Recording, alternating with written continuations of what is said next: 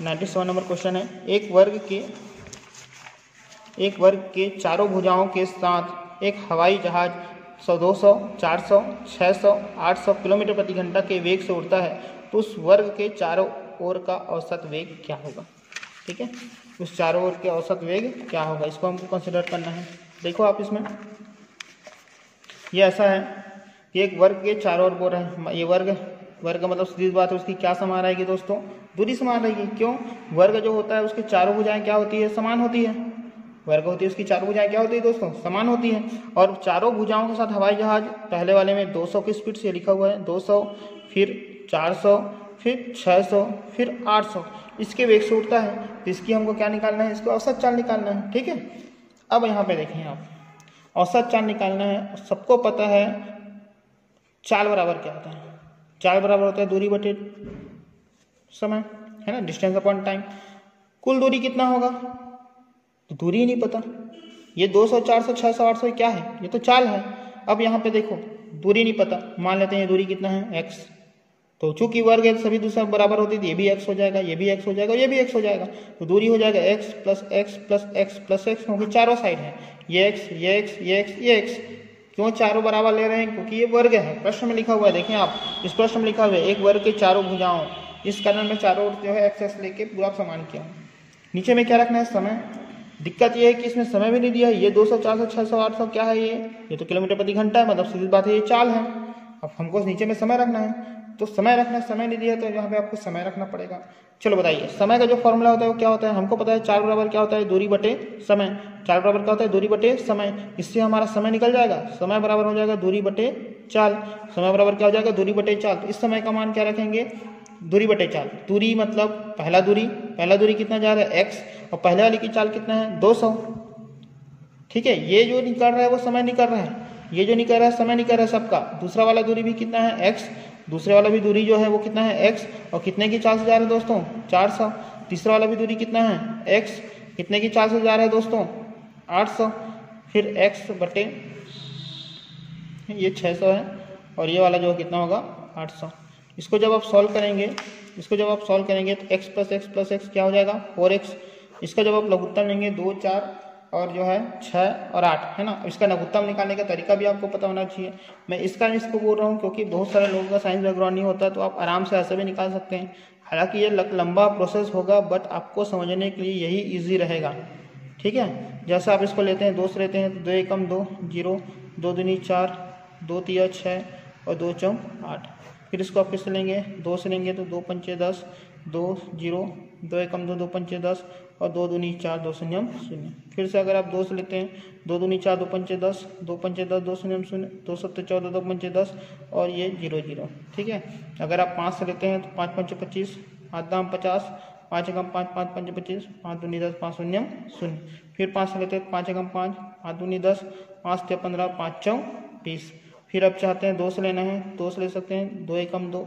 यहाँ पे याद रखना, दो से नहीं जाएगा तो दो एकम दो और ये दो सत्तर चौदह बिल्कुल नहीं करना है, जो नहीं जाता उसको एज इट इज़ लिख देना है तीन, और ये हो जाएगा दो दूनी चार। फिर किससे लेंगे? दो से ही ले लो। दो एकम दो, फिर ये हो जाएगा किससे? तीन से तो तीन एकम तीन फाइनली एक एक आ गया, अब इसको गुना करना है। दो दूनी चार चार दूनी आठ आठ पंचे चालीस चालीस पंचे दो सौ दो सौ दूनी चार सौ चार सौ दूनी आठ सौ और आठ सौ गुना तीन आप करेंगे तो आपको मिलने वाला है चौबीस सौ। ठीक है? नहीं तो सीधे से आप दो, चार छः और आठ का भी लघुत्तम निकाल सकते हैं, चौबीस आएगा। अब दो सौ से चार सौ को भाग देते हैं। दो सौ से चार सौ को भाग देते हैं। कितने बार में जाएगा? बारह बार में। कितने बार में जाएगा? बारह बार में। ऊपर में है हो जाएगा बारह एक्स। चार सौ से बारह, चौबीस सौ को भाग देंगे तो कितने बार में जाएगा? छः बार में। तो गुना एक्स करेंगे। छः सौ से चौबीस सौ भाग देंगे कितने बार में जाएगा? चार बार में तो छः चंक चौबीस एक्स और आठ से जब भाग देंगे तो कितना मिलेगा? तीन एक्स ठीक है? अब यहाँ पे आप देखेंगे, ये आप करेंगे चार एक्स पूरे एक बटे करेंगे बारह छः चार, तीन। बारह एक्स छः एक्स चार एक्स तीन एक तो बारह छः अठारह अठारह, चार, बाईस, तीन, पच्चीस एक्स बटे चौबीस सौ।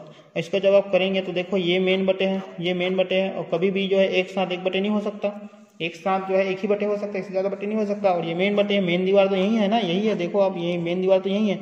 मेन दीवार को तोड़ना होता है मेन दीवार तोड़ दो और जो होता है वो पलट जाता है। क्या हो जाता है? पलट जाता है तो ये हो जाएगा चौबीस सौ बटे पच्चीस एक्स एक्स एक्स आप कर सकते हैं पाँच पंचे पच्चीस, पाँच चौंक बीस बचा चार, पाँच अट्ठे चालीस, पाँच शून्य शून्य।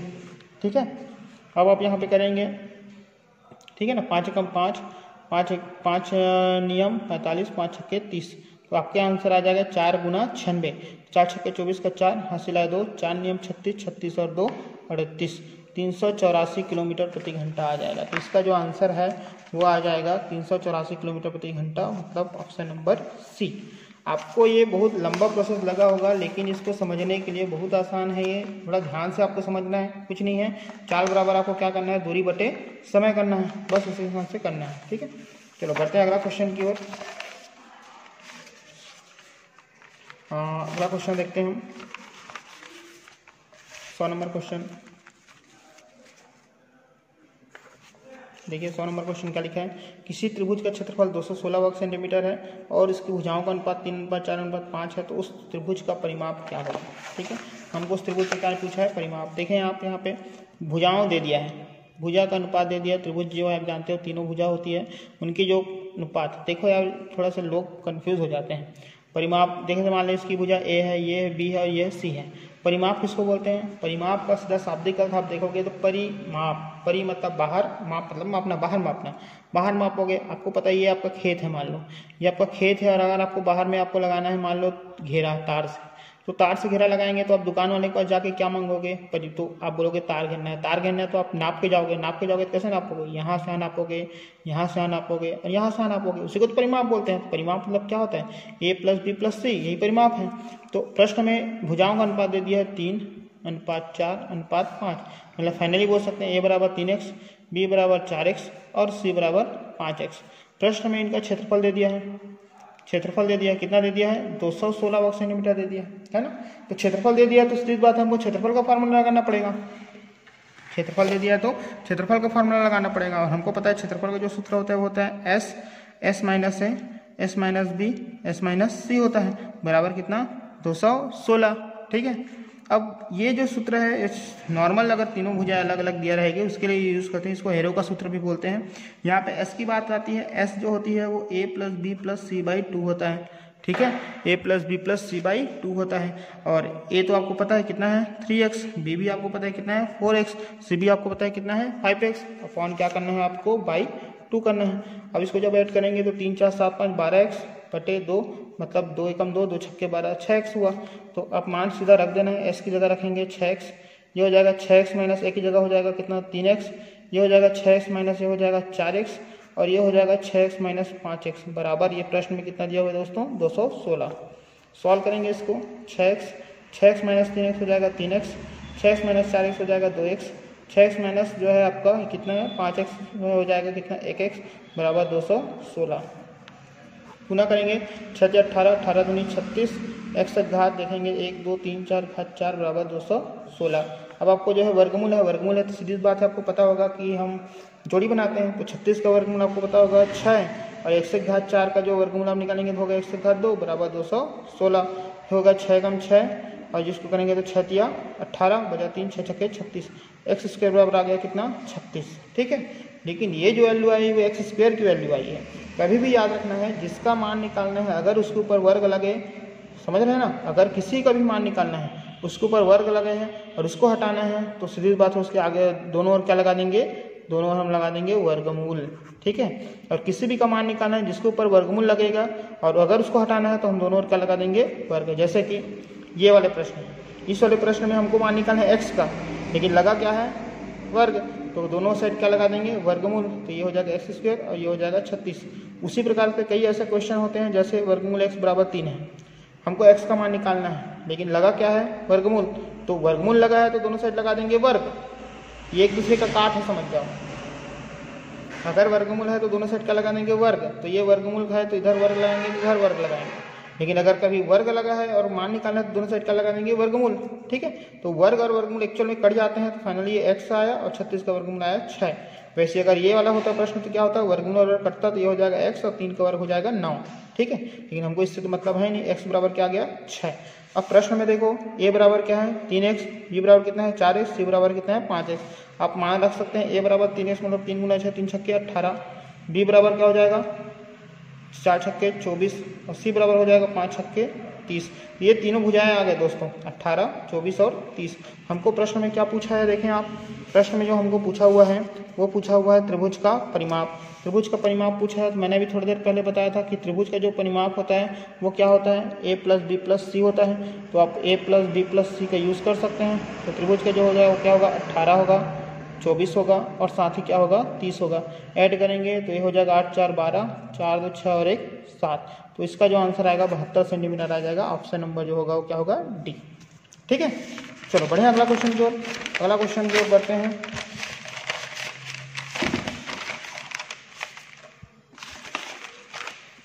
अगला क्वेश्चन है 102 नंबर ठीक है? 102 नंबर ये परसेंटेज का क्वेश्चन है, अनुपात क्वेश्चन है। ठीक है? क्या लिखा हुआ है? किसी व्यक्ति के दैनिक उत्पादन का तैंतीस से एक बटे तीन परसेंट, दूसरे व्यक्ति के दैनिक उत्पादन का पचास परसेंट है। यदि दूसरा व्यक्ति रोज पंद्रह सौ स्क्रू बनाता है तो पहले व्यक्ति इसका स्क्रू बनाने की दैनिक उत्पादन क्षमता कितनी है? ठीक है? सरल क्वेश्चन है, अनुपात का क्वेश्चन है ना? इसको आराम से हम बनाते हैं। कैसे देखो? किसी व्यक्ति के दैनिक उत्पादन का सैंतीस सही एक बटे तीन परसेंट, दूसरे व्यक्ति के दैनिक उत्पादन का पचास परसेंट है। पहले व्यक्ति का जो किए गए उत्पादन का, मैं पूरा नहीं लिख रहा हूँ, है ना? पहले किए गए व्यक्ति के उत्पादन का, देखो लिखा हुआ है, पहले व्यक्ति किए गए उत्पादन का कितना है? तैंतीस सही एक बटे तीन परसेंट। क्या है? दूसरे व्यक्ति के दैनिक उत्पादन का पचास परसेंट है। दूसरे व्यक्ति के दैनिक उत्पादन का कितना है?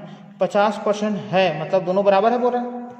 बोल रहे हैं ना दोस्तों ऐसे ही बोल रहे हैं। किसी व्यक्ति के दैनिक उत्पादन का तैंतीस बटे तीन परसेंट जो है, वो दूसरे व्यक्ति के दैनिक उत्पादन का पचास परसेंट मतलब दोनों बराबर है बोल रहे हैं। अब आप बताओ, आप अपने से ही सोचो, कौन फास्ट है? कौन फास्ट है? पहले व्यक्ति फास्ट है कि सेकंड व्यक्ति फास्ट है? लोगों को ऐसा लगता है कि इधर जो है आप देखेंगे फिफ्टी परसेंट है तो लोगों को ऐसा लग जाता है कि सेकंड व्यक्ति फास्ट है। बिल्कुल गलत है। पहला अगर सैंतीस से एक बटे तीन परसेंट कर रहा है और सेकंड पचासी कर रहा है मतलब सीधी बात है, ये फास्ट है। इनका तैंतीस से एक बटे तीन, उसका पचास के बराबर है। मतलब ये ज़्यादा फास्ट है ना जी? ये तैंतीस एक बटे तीन में ही ज़्यादा कर लिया। और ये जो है फिफ्टी परसेंट उतना आया जितना है तैंतीस मतलब इसके पास अभी बहुत सारा और बचा हुआ है, इसके वर्ष पर। ठीक है?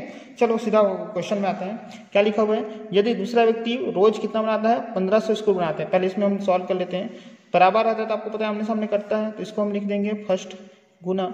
तैंतीस दिया, ये आपको आना चाहिए जी, इसको सॉल्व करना क्या होता है? तैंतीस गुना तीन प्लस वन होता है। तो तैंतीस तीन निन्यानवे निन्यानवे और एक हो जाएगा सौ बटे तीन, ये हो जाएगा परसेंट और ये हो जाएगा सेकंड गुना पचास परसेंट ठीक? परसेंट परसेंट कट जाएगा बराबर रहता है तो पचास से कम, पचास दूनी। तो ये हो जाएगा फ़र्स्ट व्यक्ति गुना दो बटे तीन बराबर सेकंड ठीक है? आप यहाँ पे आप देखेंगे, दो बटे तीन, ये फ़र्स्ट दो बटे तीन के साथ गुना में है। क्या है? गुना में और आपने अभी पक्षांतर का नियम भी आपने पढ़ा होगा। गुना रहता है तो उधर जाता है तो क्या हो जाता है वो? भाग में ये हो जाएगा भाग में। ठीक है? इसको आप क्या लिख सकते हैं? सेकंड अनुपात फ़र्स्ट बराबर क्या लिख सकते हैं इसको? दो अनुपात तीन। याद रखना, ऊपर में क्या है? सेकंड बटे है मतलब अनुपात। इसको हम उल्टा जब करेंगे तो क्या लिख सकते हैं? फ़र्स्ट अनुपात सेकंड। समझ रहे ना? फ़र्स्ट अनुपात सेकंड बराबर क्या लिख सकते हैं? तीन अनुपात दो। शुरू में सेकंड है। तो ये सेकंड का होगा। जैसे सेकंड है हमारा कितना? दो। और फ़र्स्ट वाला कितना है दोस्तों? तीन। तो फ़र्स्ट अनुपात सेकंड का कितना है? तीन अनुपात दो। मतलब फ़र्स्ट वाले का कितना हो जाएगा? तीन एक्स और सेकंड वाला कितना हो जाएगा? दो एक्स अब प्रश्न क्या बोल रहे देखो, यदि दूसरा व्यक्ति रोज पंद्रह सौ स्क्रू बनाता है, ये जो डाटा दिया है पंद्रह सौ स्क्रू वो किसका दिया हुआ है? सेकंड व्यक्ति का दिया हुआ है। तो हम बोलेंगे सेकंड व्यक्ति बराबर सेकंड व्यक्ति। हम बोल रहे हैं वो रोज दो एक्स बनाता है, हम। लेकिन प्रश्न वाला भैया बोल रहे हैं कितना? कि वो पंद्रह सौ स्क्रू बनाते हैं। दोनों के बीच जो है, हम लड़ाई होगा। हम बोल रहे हैं दो एक्स वो बोल रहे हैं पंद्रह सौ। दो एकम दो दो सत्तर चौदह, दो पंजे दस, ज़ीरो। एक्स बराबर कितना आ गया?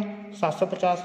अब प्रश्न वाला क्या बोल रहे हैं? तो पहले व्यक्ति का स्क्रू बनाने की क्षमता क्या होगा? हमको पता है पहले व्यक्ति का कितना है? तीन एक्स है।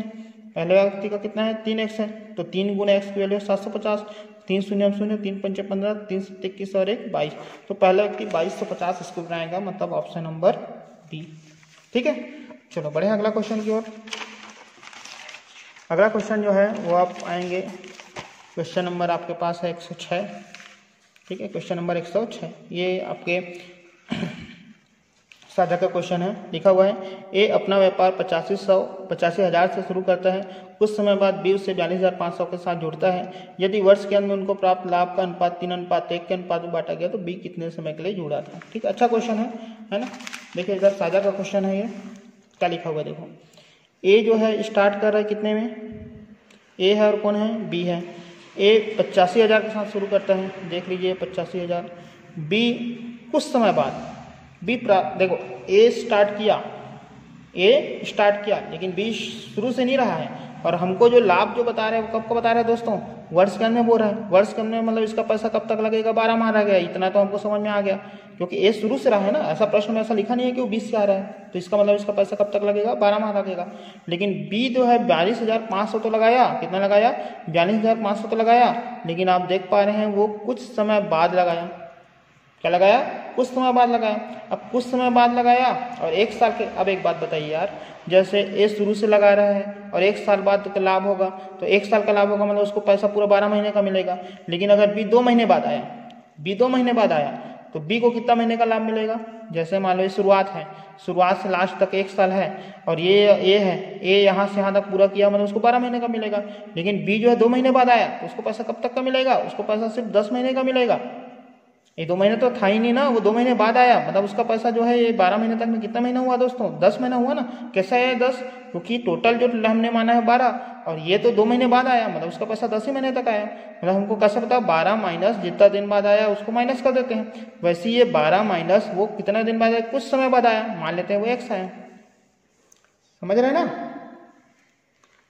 ठीक है। अब प्रश्न क्या बोल रहा है? यदि वर्ष के अंत में उनको लाभ तीन अनुपात, एक के अनुपात में होता है। देखो ए और बी का कितना हो रहा है? पचासी हज़ार गुना बारह बटे बयालीस हज़ार पाँच सौ गुना बारह माइनस एक्स लाभ का अनुपात दे दिया हमको कितना है? तीन अनुपात एक। ठीक है? हमको पता है ऊपर नीचे जो है कटता है, काट देंगे। एक, दो एक, दो, तीन एकम तीन तीन चौ बारह। फिर कटता काट देंगे। पाँच अट्ठे चालीस, पाँच, पंचे, पच्चीस। पाँच एकम पाँच पाँच सत्तर पैंतीस, पाँच शून्य शून्य। और कटेगा तो काट देंगे? सत्रह एकम सत्रह ज़ीरो, सत्रह पंचे पचासी। पाँच एकम पाँच पाँच दूनी दस, ठीक है? तो यहाँ पे आप देखेंगे दो है और यहाँ पे क्या है? चार है। तो दो चौंक आठ बटे बारह माइनस एक्स बराबर एक बटे एक। तीरा गुना करेंगे तो हो जाएगा बारह माइनस एक्स बराबर क्या हो जाएगा? आठ। पक्षांतर करेंगे तो माइनस एक्स उधर जाएगा तो प्लस हो जाएगा। और ये प्लस आठ इधर आएगा तो क्या हो जाएगा? माइनस हो जाएगा। तो एक्स बराबर क्या गया? चार। थोड़ा ध्यान रखना, थोड़ा ध्यान रखना। प्रश्न देखें आप। प्रश्न क्या बोले हैं? बी कितने समय के लिए जुड़ा था? यहाँ ऑप्शन देखो चार है, लेकिन चार आंसर नहीं आएगा। चार आंसर नहीं आएगा। क्यों? क्योंकि बी कितने समय के लिए जुड़ा था? तो हमको पता है बी आया चार महीने के लिए। चार महीने बाद आया, लेकिन उनका जो जुड़ाव समय है वो कितना है? बारह माइनस चार मतलब आठ महीना। तो इसका सही आंसर आएगा वो ए आठ महीने आएगा। ठीक है? ध्यान रखना यहाँ पे। चार और आठ में आप कंफ्यूज नहीं होना। चार कितने महीने बाद आया बोलेगा? तब चार महीने बाद आया। लेकिन उसका पैसा कब तक लगा रहा? उसका पैसा बारह महीने चार मतलब आठ महीने लग रहा। ठीक है? चलिए, अगला क्वेश्चन देखते हैं यहाँ एक सौ आठ नंबर क्वेश्चन देखते हैं। एक सौ आठ नंबर क्वेश्चन लिखा हुआ है। तीन संख्याओं में पहली और दूसरी संख्या का औसत, दूसरी और तीसरी संख्या के औसत से पंद्रह अधिक है। पहली और तीसरी संख्या का अंतर क्या है? ठीक है? देखें क्वेश्चन में क्या लिखा है?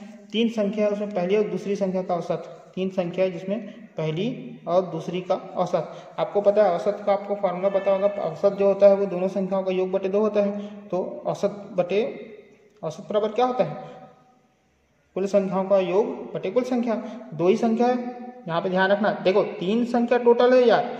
तीन संख्या टोटल है, लेकिन हमको जो दिया है, पहली और दूसरी दिया मतलब दो ही संख्या है। तो पहली और दूसरी बटे दो को करेंगे, क्योंकि दो ही संख्या है। दूसरी और तीसरी संख्या के औसत से पंद्रह अधिक है। ये जो है, किसकी किसकी? दूसरी और दूसरी और तीसरी संख्या के औसत। दूसरी और तीसरी संख्या औसत, ये भी दो ही संख्या है। दूसरी और तीसरी बोले मतलब ये भी दो ही संख्या है। दूसरी और तीसरी संख्या के औसत से, ये पहली और दूसरी संख्या का औसत हुआ, ये दूसरी और तीसरी संख्या का औसत हुआ। इससे पंद्रह अधिक है। कौन? कौन? ये वाला। ये वाला जो है, इससे पंद्रह अधिक है। लोग बहुत कन्फ्यूज़ हो जाते हैं कि इसमें क्या लेना है। लेकिन हमेशा याद रखना, इसमें जो होता है, ऐसे ही लेना है। कैसे? कई लोग जो है बोलेंगे आठ, पाँच से तीन अधिक है। कुछ लोग कैसे करते हैं, आठ, पाँच से आठ, पाँच से तीन अधिक, ऐसा करते हैं। ये गलत है ये। आठ जो है, आठ आठ आठ, पाँच से तीन अधिक है। ऐसे करना है। ठीक है इसका जो पहली और दूसरी संख्या का जो औसत है, वो दूसरी और तीसरी संख्या का पंद्रह अधिक है। तो पहले और तीसरी संख्या का क्या पूछा है? अंतर। पहले इसको सॉल्व कर लेते हैं। ठीक है? देखिए। यहाँ पे आप देखेंगे, इसको कैसे सॉल्व करेंगे? तो आप इसको इधर ला लेंगे तो हो जाएगा पहली प्लस ये हो जाएगा पहली प्लस दूसरी बटे दो माइनस सेकंड प्लस थर्ड बटे दो बराबर पंद्रह। हमने इसको पक्षांतर करके इधर ला लिया। लघुत्तम आएगा दो फ़र्स्ट प्लस सेकंड है ना? ये हो जाएगा माइनस सेकंड माइनस थर्ड बराबर पंद्रह। ये हो जाएगा plus second minus third cancel हो जाएगा। फ़र्स्ट माइनस थर्ड बराबर बटे दो बराबर पंद्रह। तीजा गुना करेंगे तो फ़र्स्ट माइनस थर्ड बराबर हो जाएगा दो पंद्रह तीस। तो पहला और तीसरा संख्या का जो अंतर हो जाएगा, पहला और तीसरा संख्या अंतर हो जाएगा कितना? तीस। इसमें ऑप्शन में नहीं, इसका ना आ जाएगा, इनमें से कोई नहीं। ठीक है? क्या आंसर आ जाएगा? पंद्रह दुनी तीस। समझ आ रहा है इसका जस्ट हमने लघुत्तम निकाले। फिर माइनस धन का गुना माइनस माइनस प्लस का गुना माइनस फिर हमने थर्ड और सेकंड और सेकंड माइनस सेकंड काट दिए, फिर बचा माइनस फ़र्स्ट माइनस थर्ड ठीक है? चलिए, बढ़िया, अगला क्वेश्चन की ओर।